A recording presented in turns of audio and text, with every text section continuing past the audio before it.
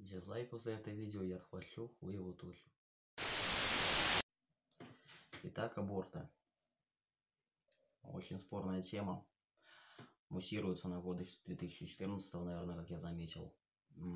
Кому-то это выгодно, наверное, Русской Православной Церкви в первую очередь, потому что ну, больше прихожан, больше бабла. А, но давайте рассмотрим, почему аборты как явление имеют право на существование и почему, в принципе, эту тему не стоит муссировать, тему запрета абортов. Потому что сама по себе тема имеет много аспектов.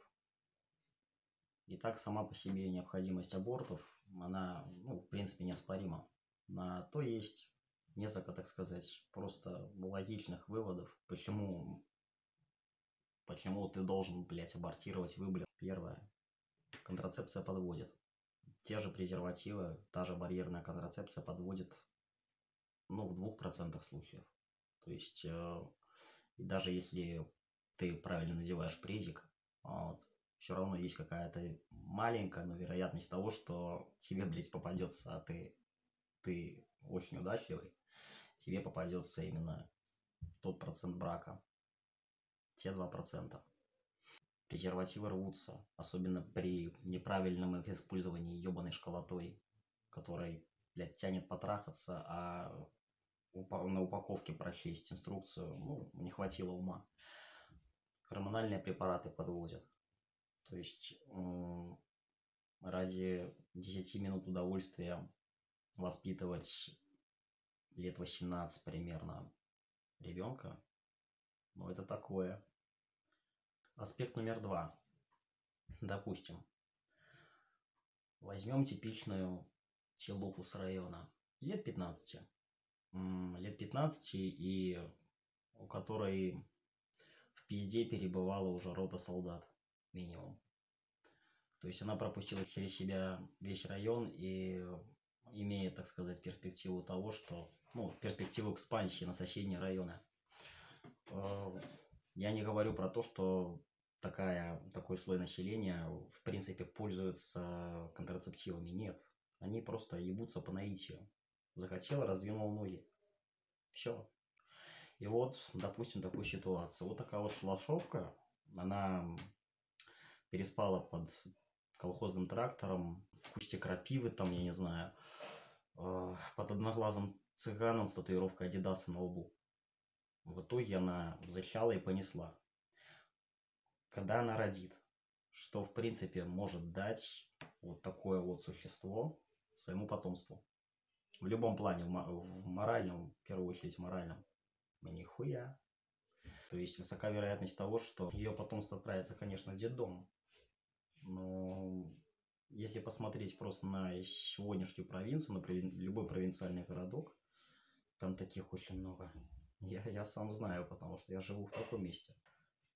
Вот поэтому, если не получается вести понятие контрацепции в таких слоях, то аборт это весело. Есть такая группа, я не знаю, группа это как называют эту конгломерацию языковная, это ебаный, ебаный паноптикум, который нужно, ну, я просто не знаю, просто аннигиля... подлежит аннигиляции. Э, пролайферы. Так вот, некоторые особо упоротые адепты секты про-лайф, которые за жизнь, которые против абортов, они утверждают, что ну, аборт это грех, аборт это не богоугодно.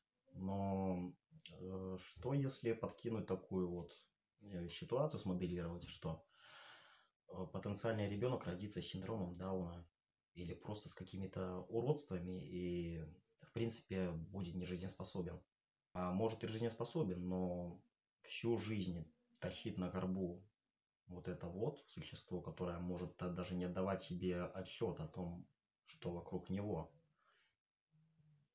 Ну, такое. И вот эти вот адепты секты ProLife, они, они реально говорят о том, что женщина должна выносить и родить вот это вот, ну, будущий овощ, буквально говоря. Логика? Логики нет. Не убей, потому что это грех. Все. Все аргументы этих гребаных святош. Еще такой аспект, аспект, как э, потенциальная угроза здоровью матери, здоровью или даже жизни. Такое бывает, есть такие заболев... ну, заболевания, патологии, как прилежание плаценты, например, э, патологическое положение плода, которое может просто во время родов может привести к вколачиванию плода в таз, и женщина просто умрет, начнется кровотечение. Так вот, даже если есть риск вот таких вот патологий, и он явный, опять же, пролайферы кукарекают на тему того, что, блядь, аборт нельзя, сдохни, но, сука, выносит. А там, ну, а там как угодно Богу. Да. Ну и социальный аспект. Я бесконечно уважаю многодетные семьи, порядочные многодетные семьи, конечно, где много детей, все живут в достатке, как бы и в согласии, и никто не испытывает дискомфорта. Но вот, допустим, опять же ситуация. Э, есть семья, у нее есть энное количество детей, от 1 до 100-500. Вернемся опять же к первому аргументу. Подвела контрацепция. А обычно умные люди, я надеюсь, что они умные, они ответственно подходят к вопросам планирования семьи. Контрацепция подвела. В умной, в умной семье бюджет рассчитывается как-то. И они вот понимают, что они очередного ребенка просто не потянут. Сдать детдом, чтобы ребенок воспитывался отдельно от своих братьев и сестричек и испытывал все вот эти вот детдомовские тяготы и лишения. Это, это гуманно? Тебе что, блядь, ебать нахуй, чи что? Что ты хочешь? Что Я, там делала? я с Юлей разговаривал. Что Вообще ты жить и жить делала? охуенно. На этом я заканчиваю. Жду море комментов под этим видео.